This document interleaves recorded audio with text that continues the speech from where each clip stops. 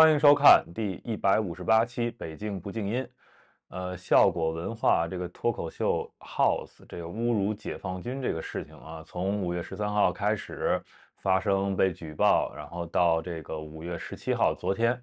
这个处罚结果，包括整个事件的定性都结束了啊。所以我们今天呢，整体来聊一下，先捋一下整个这个事情的一个一个时间点吧，一个脉络啊。是五月十三号的时候啊，微博有一个网友，这个人叫什么呢？叫不愿透露姓名的曼联球迷天某。呃，这个人也扒出来了啊，我们待会儿再说。这个人呢发文称，说效果文化的线下脱口秀中，表演者 House 存在使用段子侮辱解放军的情况。这是五月十三号。啊，我们先看一眼吧。我因为找到了这个这个当时现场的这个录音啊，就是他到底是所谓的怎么侮辱解放军啊？我们先看一下这个，听一下现场这个片段啊。我去上海以后就收养收养两条流浪狗，严格来讲不是流浪狗，我们是从家附近的一座山上捡回来的两条野狗，我们都不算救助它们。因为他们在山上那个食物链的位完全不需要我们的救助，我们只是相当于变形计，可能是连一下城里的生活。那两条狗它们确实在山上就是食物链的顶端。我看到它们第一时间，我感觉我不是在看它，我是动物世界的拍摄现场。就两条狗追一个松鼠，像炮弹一样发射了出去。那你平时看到一些狗，你会觉得很萌，心都要被萌化了，会想到这些词。我看到这两条狗的，内心只闪烁出了八个大字。就作风优良，能打胜仗，非常优秀。我牵着这两条狗在上海的街头威风凛凛，唯一的问题就是它们的运动量太大，我的身体素质有点跟不上。OK，听完了吧？就是这么一个，就是这么一段啊，说侮辱解放军，其实就那八个字儿，对吧？当然了，这里边这个这个狗啊，两条狗啊，然后在上海啊，这些这些有没有在影射这个上海封城时候的这个某些解放军的作为啊？我们都现在都不知道，对吧？不知道这个 House 心里是怎么想的。这个事儿接着往下呢，五月十三号、五月十五号的时候，这效果文化发布声明，以无限期停止相关表演者 House 的演出工作，并向大众表示歉意。然后这个 House 这个人呢，他的微博也被禁言了。紧接着呢，还是那个五月十五号上午，北京市文化执法总队表示已对相关公司进行立案调查。当天啊，人民日报就发文批评，啊，就说脱口莫脱轨，玩梗需有度，片面追求效果而不惜踩线，就陷入了误区。心有所畏，言有所戒，行有所止，这应是职业底线，更该成为行业共识。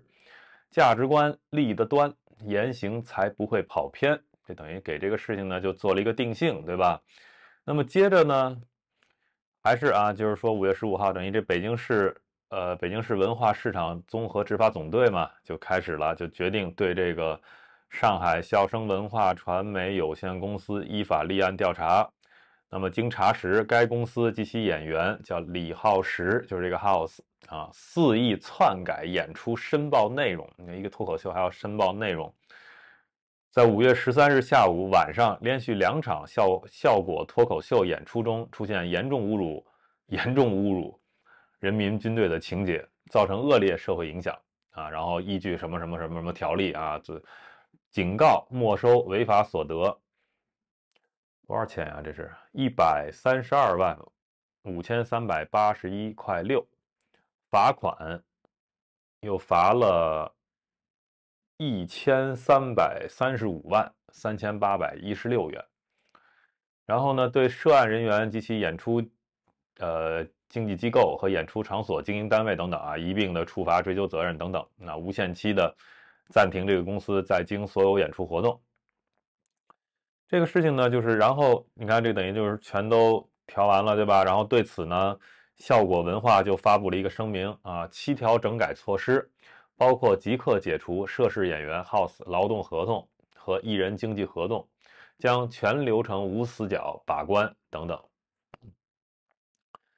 那这个事情呢，呃，新华社呢还发了一个，五月十六号时候发了一个叫“人民军队不容冒犯，必须敬畏”啊，然后还还给发了一个图啊，就是这么一图，你看啊。解放军对吧？上面写着这十二个字：听党指挥，能打胜仗，作风优良。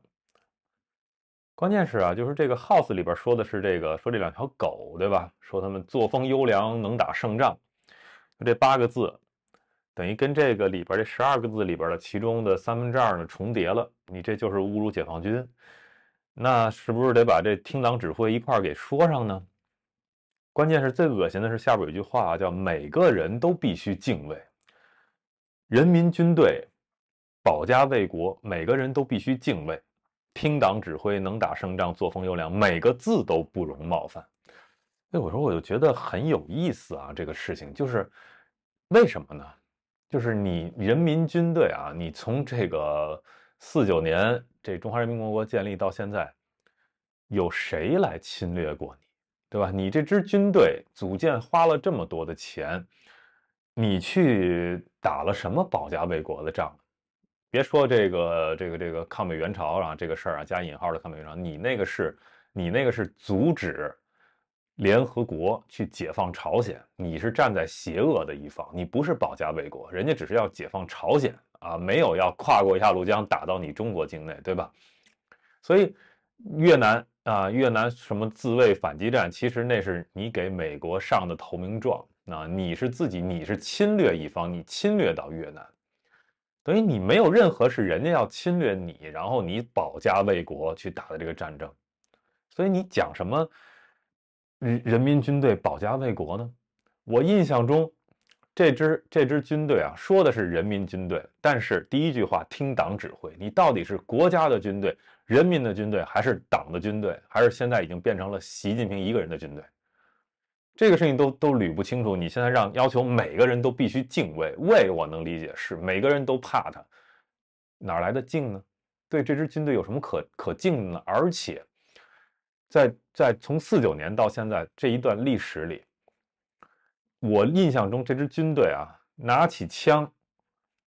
真正的所谓保家卫国，他保他那个党的政权，他的枪口是对准人民的，对吧？八九六四，他的枪口是对准人民的。就这么一支把枪口对准人民的所谓人民军队，有什么可敬畏的呢？啊，连这十二个字每个字都不容冒犯，你丢人不丢人啊？新华社说这种话，有有一个人给我留言让我讲那个八九六四啊，因为我觉得这也不是一期节目能讲明白的啊，八九六四。但是呢，我简单说一下啊，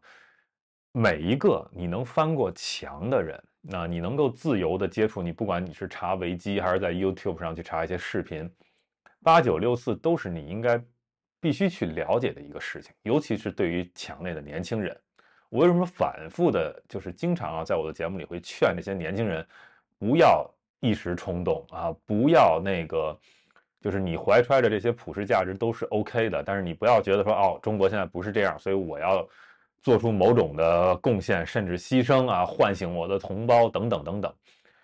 你你一定要先去搞明白啊，八九六四到底发生了什么，有多可怕这个事情，你再去做这些求人得人的事情啊。因为因为这个政权啊，这个这个包括这个政权所控制的这支军队啊，就是没毫无人性，就是一群畜生，你知道所以效果文化就把他们比喻成狗，我觉得对狗都是一种侮辱。就是这些人啊，这些人虽然真一个个生物性上都是人，但是作风啊、做法上连畜生都不如。你不要侮辱狗，在这个事情上，这些军队的人，当时八九年四月份啊，就是胡耀邦逝世之后，那北京这些大学生呢，跑到这个天安门广场去集会，去去祭奠这个胡耀邦。在这个过程中呢，喊出了一些政治口号啊，希望去当时的政治上的一些问题，希望去改变。然后呢，这个事情就拉锯啊，拉锯。我们中间不讲那么细了，因为这些资料大家都可以查到，一定要去看，一定要去不停的去了解八九六四发生了什么，文革发生了什么，从四九年那个国家，甚至从二一年这个他们破党建立到现在，所有发生的事情都要去了解，因为你不了解这个历史，大家怎么去反思呢？你这些东西不了解清楚了。怎么去指导你现在的这些生活和你现在这些认知，包括你对于中国未来的判断，对吧？你是判断不清楚的。你了解了八九六四他们有多么邪恶，你就完全能够知道你你你之后应该去怎么去做，你该认出来认出来，你在墙内说难听点，你该苟着苟着，对吧？你不要再去干这些，就是你觉得好像是可以讲道理的，跟他们根本就没有道理可讲。呃，六月四号之前啊，就决定要清场的时候，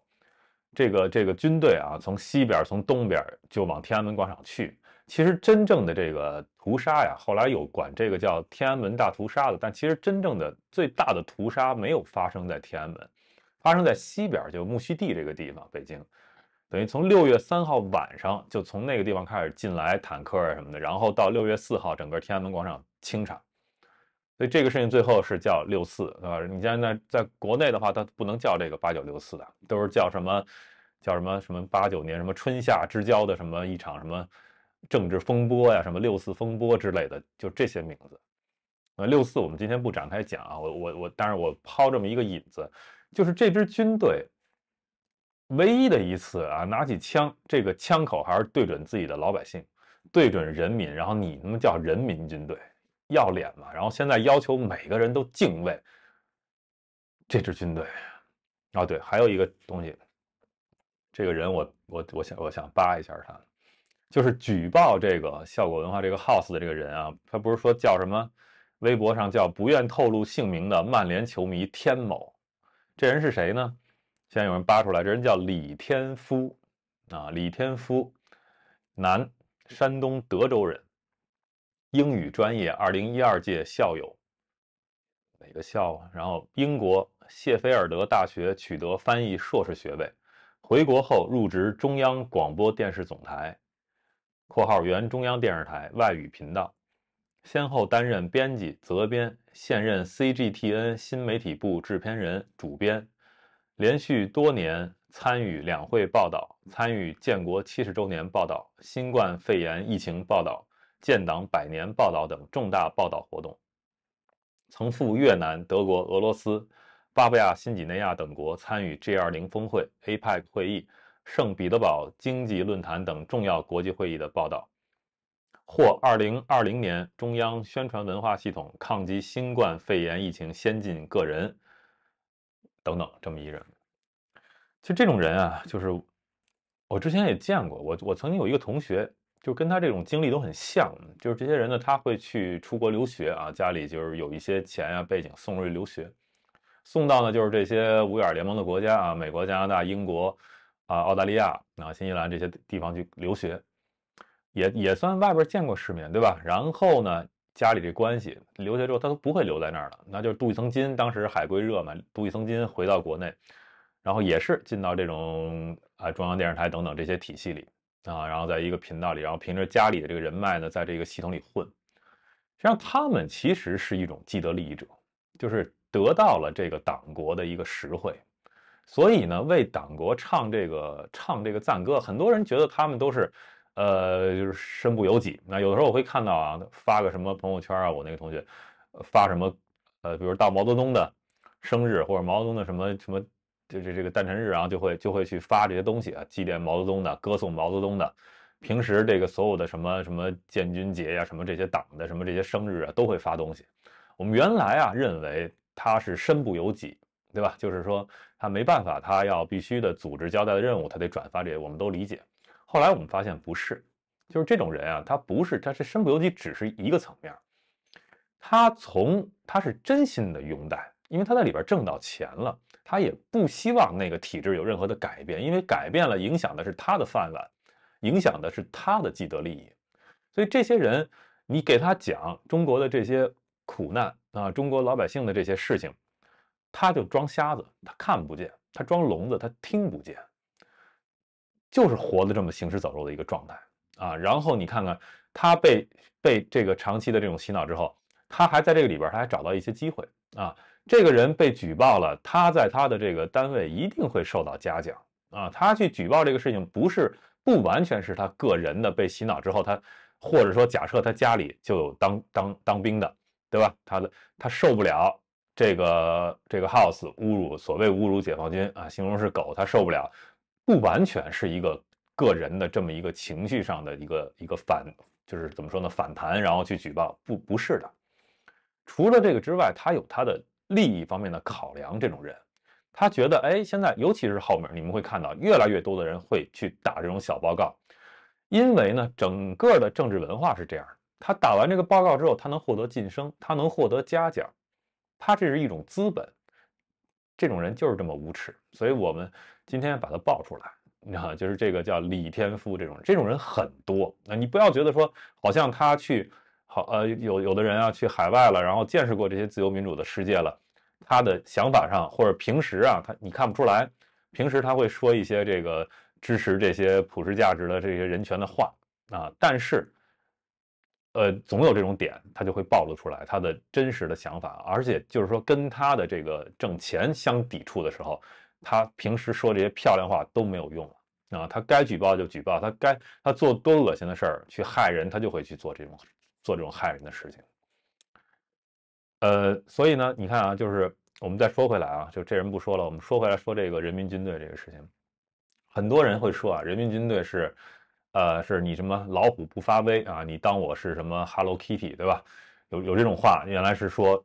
呃，这个这个这个这个这个解放军啊，说他们特别厉害啊，听党指挥就能打胜仗，那作风还特别优良，真的是这样吗？就是如如果有听到我这个节目呢，你还是相对有点粉红啊，你还是这些年的宣传让你觉得对这支军队抱以一个厚望啊，你觉得他们真的能够？打胜仗的话，我觉得今天你应该醒一醒啊！就是这支军队真的没有什么指望。你看看里边有多大的贪腐的问题，这些一个一个的这个这些这些将领啊，所谓的将领都是什么样的一个体型啊？他们的平时都是一个什么酒囊饭袋的这种这种这种情况，底下的这些军队也是一样，这个军队是烂到根儿的。你看到那些宣传什么这武器那武器什么的都没用，你看看俄罗斯。所以这支军队啊，不是说它是一个，它是一个老虎啊，然后真正有一天它真的能够去发威，然后你现在只是把它当这个一个 Hello Kitty 看啊，它连 Hello Kitty 都不如啊。对，说到 Hello Kitty，我们就是为什么要引到这儿呢？因为有人啊也给我留言说看我后边这个 Hello Kitty，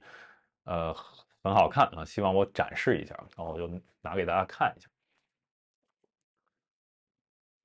哦。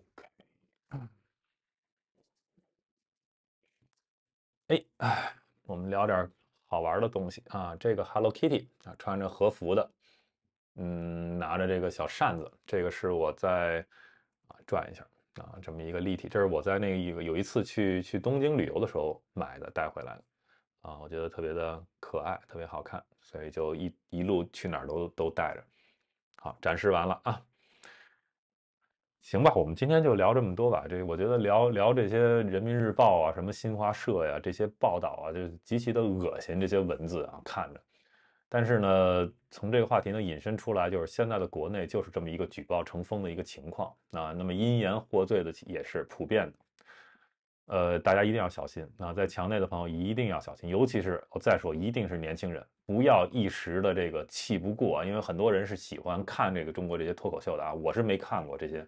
呃，我一次都没看过这些脱口秀，但是我知道很多年轻人喜欢。那喜欢呢，就是你比如这个 House 也好，或者之前的那个池子也好，甚至什么李诞或者什么这些人，我都不知道啊，其他我就不知道了。那可能是你的怎么说呢，偶像，或者你追他，对吧？或者你就是喜欢他，那么他们会遇到越来越多的这样的事情。所以你不要说好像你要去鸣不平啊，去发点什么东西啊，在墙内，或者或者或者做一些更激进的事不要，先去研究。八九六四，先去搞明白那支混蛋军队到底对人民都做过什么，你就知道该如何保护自己了。感谢收看、订阅、点赞。